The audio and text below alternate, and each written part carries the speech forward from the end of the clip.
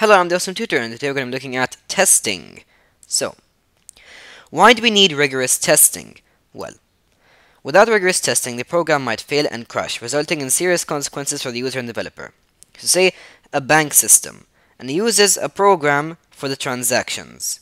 What if that program crashes? What's going to happen with, those transactions? What's going to happen with that money? You see, a big problem. Or say for like a, um, a critical system like a, a nuclear power plant. If a program for that fails, it's going to be a catastrophe. So the program must cope with invalid data in a sensible way. It must be robust. And robust means the ability to cope with errors during execution, so runtime errors, and cope with erroneous input. Erroneous input is uh, input that is not sensible at all and is completely ab abnormal. And if the software does not work as intended, the developer does not get paid. And that's not good. You want to get paid, so make sure your thing works properly. Application testing. So the type of testing we're talking about is application testing, testing the software.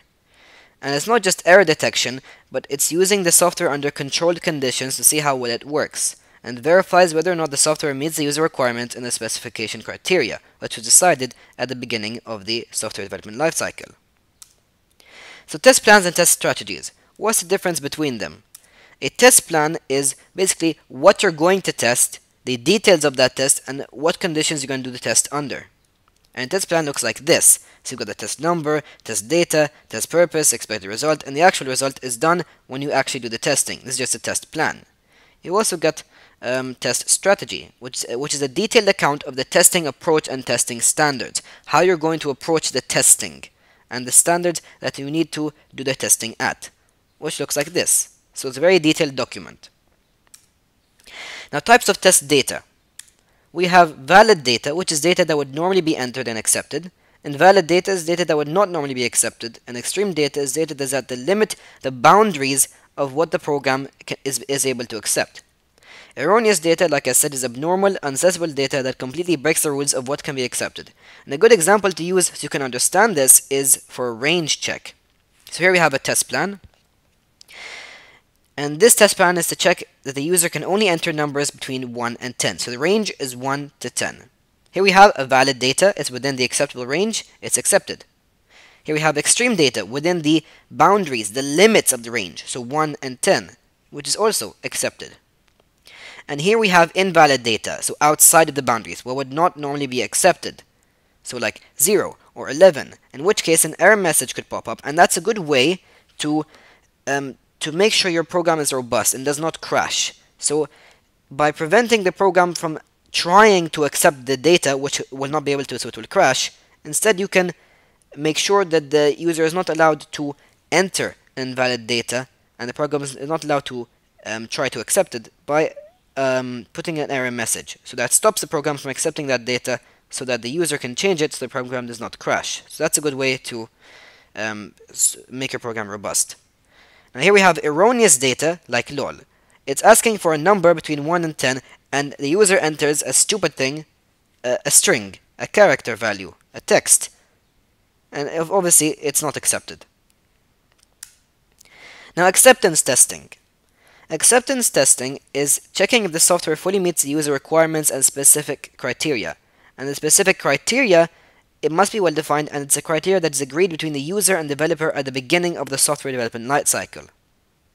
And the criteria test methods are also agreed between the developer and the user, as well as the actual test to be done.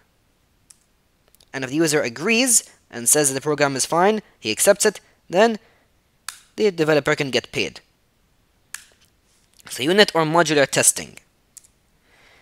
Small parts of a program are individually and independently tested, and these are called units or modules and it's often automated done by computer but it can be done manually. And it is a detailed approach by means of continuous testing and revision and however it cannot verify the functionality of the software as a whole. So it does not show how the program works together. It does not show how cohesive the program is. It just shows that the building blocks of the program can work independently of each other. So you've got individual units and modules of the program tested individually and independently. Now we have integration testing which is when all the separate units have been coded and tested, then, then they need to be integrated into one system. Sorry, that needs to be a Y there.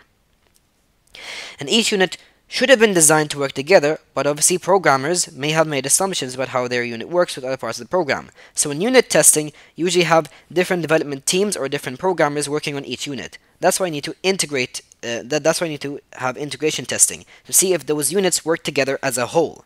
So it tests how well the program works as a whole. So each individual unit is tested to see how well it works together. Alpha testing. It's done in-house, so in, in the company, by other developers of that company. But it uses a limited selection of hardware and data, so limited by the hardware and data of the company, and can be done at various stages in the development and, and on specific modules.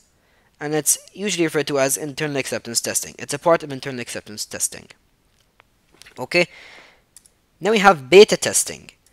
Beta testing is done on almost complete software, unlike alpha testing, which is done in various stages of development. And beta testing is given to a sample of potential customers who are independent of the development team, so not part of that company. And this allows the software to be exposed to real world data and can be tested on many different hardware platforms. So it's better testing. And this is referred to, or beta testing is referred to as part of external acceptance testing. Now we also have some other tests, like load test and performance tests, which are really just subtests, and they could be part of integration testing or another type of testing called non-functional testing. But let's look at these now.